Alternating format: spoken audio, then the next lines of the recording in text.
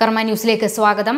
മരിച്ചിട്ട് ഇരുപത്തിയാറ് ദിവസമായിട്ടും പള്ളിത്തർക്കം മൂലം സംസ്കാരം കാത്ത് മോർച്ചറിയിൽ സൂക്ഷിച്ചിരിക്കുകയാണ് എഴുപത്തിയഞ്ചുകാരിയുടെ മൃതദേഹം. വാർദ്ധക്യ സഹജമായ അസുഖം ബാധിച്ച് മരിച്ച തൃശൂർ തുരുത്തിക്കര സ്വദേശി അന്നമ്മയ്ക്കാണ് ഈ ഗതി. കുന്നത്തൂർ താലൂക്ക് ആശുപത്രിയിലെ മോർച്ചറിയിലാണ് മൃതദേഹം. ദളിത് ക്രൈസ്തവ വിഭാഗത്തിൽപ്പെട്ട അന്നമ്മയുടെ ശവസംസ്കാരം അധികൃതരുടെ തീരുമാനത്തിനായി നീളുകയാണ്. രണ്ട് പള്ളികൾ തമ്മിലുള്ള തർക്കമാണ് പ്രധാന കാരണം.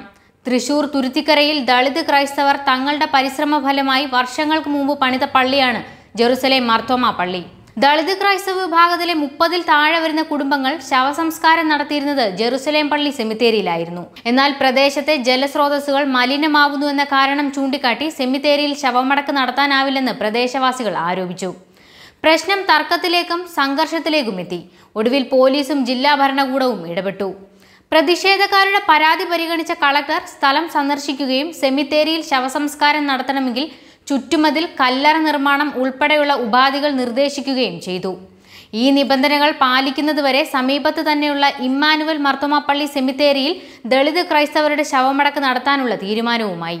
എന്നാൽ സ്ഥലപരിമിതികളാൽ ബുദ്ധിമുട്ടുന്ന ഇമ്മാനുവൽ പള്ളി സെമിത്തേരിയിൽ ദളിത് ക്രൈസ്തവരുടെ മൃതദേഹങ്ങൾ കൂടി സംസ്കരിക്കുന്നതിനോട് പള്ളി കമ്മിറ്റി തുടക്കം മുതൽ തന്നെ എതിർപ്പ് പ്രകടിപ്പിച്ചിരുന്നു.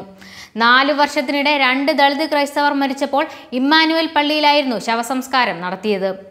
ഇമ്മാനുവൽ പള്ളി അംഗങ്ങൾക്ക് സെല്ലാർ നിർമ്മിക്കാനായി മാറ്റിയിട്ടിരുന്ന സ്ഥലമാണ് ഇതിനായി ദളിത് ക്രൈസ്തവർക്ക് ലഭിച്ചത്. കാട് പിടിച്ചു കിടക്കുന്ന സ്ഥലത്ത് അഭയാർത്ഥികളെ പോലെ ശവവുമായി ചെല്ലേണ്ട അവസ്ഥ വളരെ ദുഃഖകരമാണ്. അടക്കിയ സ്ഥലം പോലും കാണാൻ കഴിയാത്തതിനാൽ മെഴുകുതിരി വെച്ച് പ്രാർത്ഥന പോലും നടത്താൻ ബുദ്ധിമുട്ടാണ്. ആദ്യത്തെ ശവമടക്കിയപ്പോൾ തന്നെ ഇനി ഇതിനുള്ള ഇടവരുത്തരുതെന്ന് ഇമ്മാനുവൽ പള്ളി കമ്മിറ്റി അറിയിച്ചിരുന്നുവെന്ന് അന്നമ്മയുടെ ബന്ധുക്കൾ പറയുന്നു. അതേസമയം അന്നമ്മയുടെ മകനായി ആയിരത്തി തൊള്ളായിരത്തി തൊണ്ണൂറ്റി ഒമ്പതിൽ പണിത കല്ലറയിൽ തന്നെ അന്നമ്മയെ അടക്കാൻ അനുവദിക്കണമെന്നാവശ്യപ്പെട്ട് കുടുംബം ഹൈക്കോടതിയെ സമീപിച്ചു. ഹൈക്കോടതി അനുകൂല ഉത്തരവ് പുറപ്പെടുവിക്കുകയും ചെയ്തു. കല്ലറ കോൺക്രീറ്റ് ചെയ്താൽ അടക്കാൻ അനുവദിക്കാമെന്ന് തീരുമാനിച്ചു. രണ്ട് ദിവസത്തിനകം കല്ലറ കോൺക്രീറ്റ് ചെയ്തെങ്കിലും പതിനാല് ദിവസം കാത്തിരിക്കുന്നതിന് ശേഷം മാത്രമേ ശവസംസ്കാരം സംബന്ധിച്ച തീരുമാനം എടുക്കാനാവൂ എന്ന് യോഗത്തിൽ കളക്ടർ അറിയിച്ചതിനാൽ ശവസംസ്കാരം നീണ്ടുപോയി. ഇതിനിടെ അന്നമ്മയുടെ കുടുംബാംഗങ്ങളെ ചിലർ പിന്തുടരുന്നതായും അപകടപ്പെടുത്താൻ ശ്രമം നടന്നതായും ആരോപണമുണ്ട്. ഇത് സംബന്ധിച്ച് കുന്നത്തൂർ പോലീസിന് പരാതി നൽകിയെന്നും ബന്ധുക്കൾ പറയുന്നു.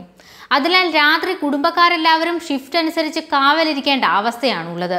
പള്ളിത്തർക്കത്തിലും അധികൃതരുടെ പിടിവാശിയിലും നരകിക്കുന്നത് സാധാരണക്കാർ തന്നെയാണ്. ഈ വിഷയത്തിൽ ജില്ലാ കളക്ടറുടെ അന്തിമ തീരുമാനത്തിനായി കാത്തിരിക്കുകയാണ് കുടുംബാംഗങ്ങൾ. News desk Karma news.